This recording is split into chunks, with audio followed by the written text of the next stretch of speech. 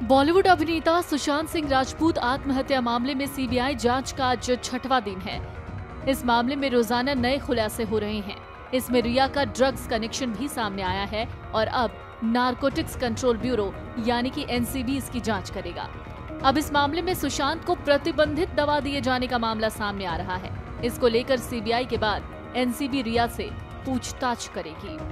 अब आपको बताते हैं कि इस पूरे मामले पर सुशांत के पिता के वकील विकास सिंह का क्या कहना है।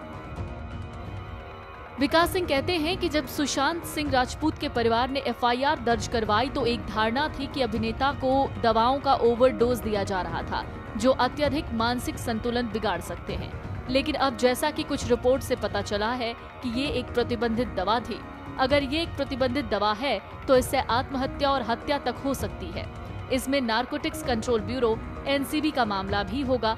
इससे कार्रवाई की गुंजाइश काफ़ी हद तक बढ़ेगी। फ़िलहाल इस नए खुलासे से इस मामले की एक और परत खुली है। इंतज़ार उस वक्त का है जब ये पूरा मामला सीबीआई सुलझा लेगी। Video desk Amar Ujala dot com. Download करें अमर उजाला ऐप और पाएँ खबरें लगातार।